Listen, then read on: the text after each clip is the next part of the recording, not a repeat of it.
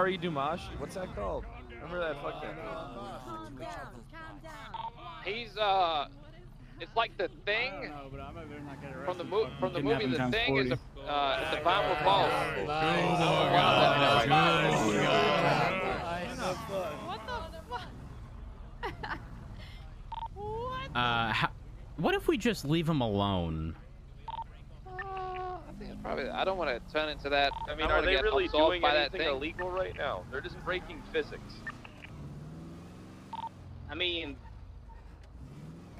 that's a law.